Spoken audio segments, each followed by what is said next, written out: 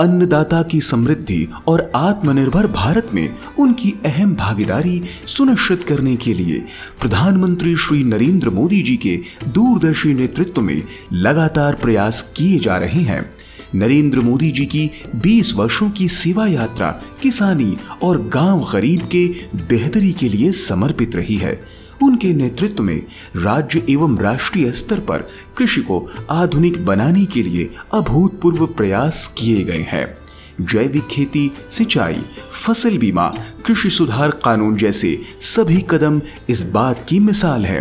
इस कड़ी में शामिल है उच्च गुणवत्ता और पोषण वाली बायोफोर्टिफाइड किस्मों एवं बदलती जलवायु के अनुरूप नवीनतम कृषि तकनीकों का विकास।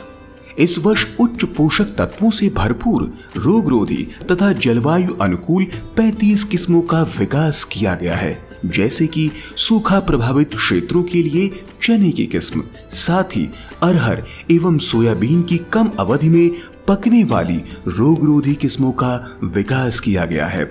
जलवायु अनुकूल धान की किस्में विकसित की गई हैं, जो रोग तथा खरपतवार नाशी प्रतिरोधी होने के साथ साथ क्षारीय भूमियों के लिए भी उपयुक्त है। अधिक प्रोटीन, आयरन, जिंक और विटामिन वाली गेहूँ, बाजरा एवं मक्का की किस्में इस कड़ी में शामिल है।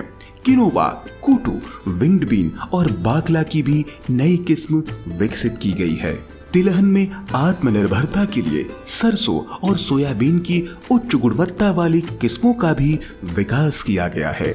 कृषि में शोध और नवाचार को बढ़ावा देने की दिशा में आज एक और नया अध्याय जुड़ रहा है। अंठावन करोड़ की लागत से रायपुर में भारतीय कृषि अनुसंधान परिषद के अंतर्गत एक नए राष्ट्रीय जैविक स्ट्रेस प्रबंधन संस्थान की शुरुआत हो रही है।